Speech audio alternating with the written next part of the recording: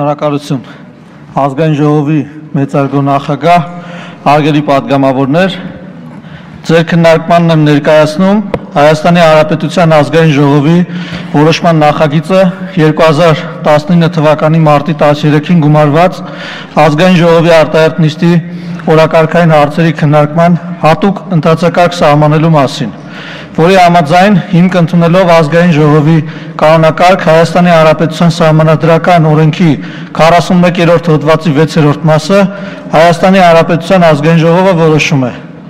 Հայաստանի Հանրապետության կառավարության նախաձեռնությամբ 2019 թվականի մարտի 13-ին գումարված Հայաստանի Հանրապետության ազգային ժողովի արտահերտ նիստի օրակարգային հարցերի երկրորդ ընթերցման քննարկումը կազմակերպել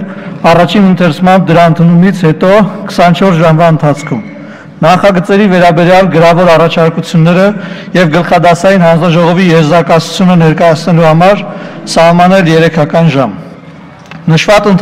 նշված ընթացակարգի անհրաժեշտությունը բխում է Հայաստանի Հանրապետության կառավարության 2019 թվականի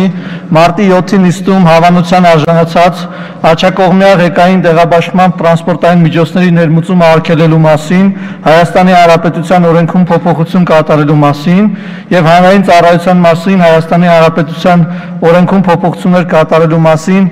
Հայաստանի Հանրապետության օրենքներով սահմանված կարգավորումների հնարավորինս շուտ կիրառմամբ Նշված օրենքների ընդունման արդյունքում հնարավորություն կընձեռվի